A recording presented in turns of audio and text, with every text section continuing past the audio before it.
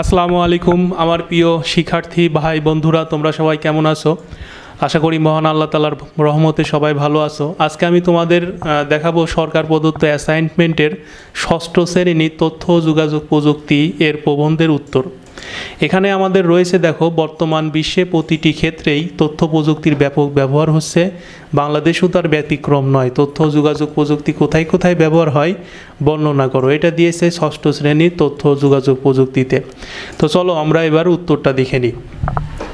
তো এর উত্তরটা তোমরা কীভাবে লিখবা? প্রথমে লিখবা ভূমিকা, তারপরে লিখবা আধুনিক জীবনের সাথে তথ্য, যোগাযোগ, প্রযুক্তি অতপ্রতভাবে জড়িত। প্রাচীন সভ্যতা থেকে শুরু করে আজকের এই নগর সভ্যতার দিকে তাকালে আমরা এক অভূতপূর্ব পরিবর্তন লক্ষ্য করতে পারি।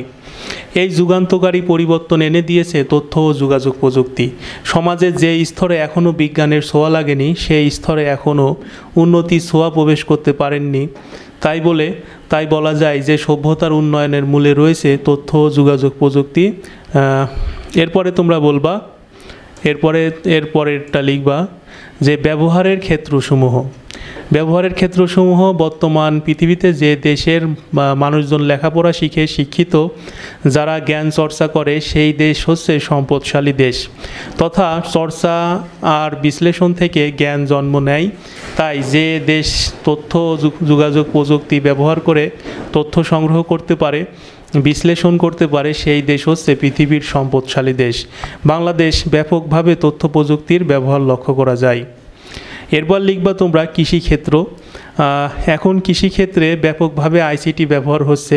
ইন্টারনেটে ওয়েবসাইট তৈরি হয়েছে, সেখানে কৃষিবিদ অনেক তথ্য সম্পর্কে কৃষকরা জানতে পারে। তাছাড়া মোবাইলে কৃষি পরামর্শ দেওয়া হচ্ছে। এরপরে তোমরা লিখবা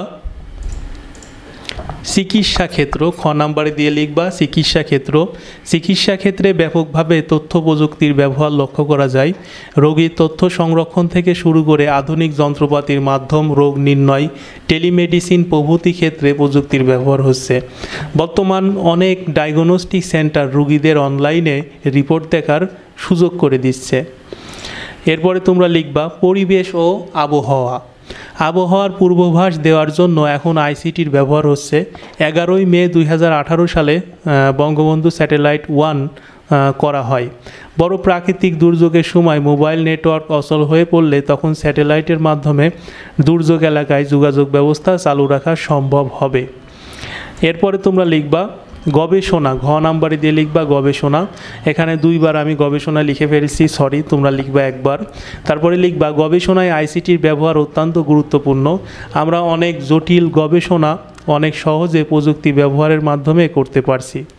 তারপরে অঙ্গ নাম্বার লিখবা ব্যাংকিং বর্তমান প্রায় সব ব্যাংক অনলাইন সেবা দিচ্ছে। এটিএম মেশিন থেকে যে কোনো সময় টাকা তোলা যায়। তাছাড়া বর্তমান ব্যাংকগুলো ব্যাংকিং সেবা প্রদান করছে। এবার ছ নম্বরে লিখবা শিক্ষা ক্ষেত্রে বর্তমানে তথ্য, যোগাযোগ প্রযুক্তির ব্যবহার শুধু গবেষণা আটকে নয়, বড় শিক্ষা ক্ষেত্রে প্রযুক্তির ব্যবহার অত্যাধিক হারে লক্ষ্য করা যায়। শিক্ষার্থীরা তাদের শিক্ষার প্রয়োজনে প্রযুক্তি ব্যবহার করছে। শিক্ষাক্ষেত্রে multimedia class, digital dictionary book, online class খুবই গুরুত্বপূর্ণ ভূমিকা রাখে। এরপরে তোমরা লিখবা ব্যবসা ক্ষেত্রে। ব্যবসা ক্ষেত্রে তথ্য, যোগাযোগ প্রযুক্তির ব্যবহার বেড়েছে চোখে পড়ার মতো। আমদানি, রপ্তানি বেড়েছে কয়েক গুণ। এর পিছনে মূল কারণ হলো উন্নত যোগাযোগ ব্যবস্থা। ফলে অর্জিত হয়েছে প্রচুর বৈদেশিক মুদ্রা যা দেশের জিডিপিতে ইতিবাচক প্রভাব ফেলেছে। তাছাড়া বর্তমানে বাংলাদেশের ই কমার্সের ব্যাপক প্রসার লাভ করেছে। এটার পরে তোমরা আরেকটা অংশ লিখবা, সেটা হচ্ছে প্রযুক্তি ব্যবহারের সুবিধা। এখান থেকে তোমরা লিখবা, বর্তমান বিশ্বে তথা যোগাযোগ প্রযুক্তি ব্যবহারের সুবিধা বলে শেষ করা যাবে না। সকালে ঘুম থেকে উঠে রাতে ঘুমাতে যাওয়া মুহূর্ত পর্যন্ত আমরা প্রযুক্তি ব্যবহার করছি। প্রযুক্তি ব্যবহার করে আমরা আমাদের সময়কে আমাদের হাতের মুঠোয় নিয়ে এসেছি। কৃষি প্রযুক্তির দৌলতে আজ সারা বিশ্বে মোট জনসংখ্যার খাদ্যের চাহিদা মেটানো সম্ভব হয়েছে।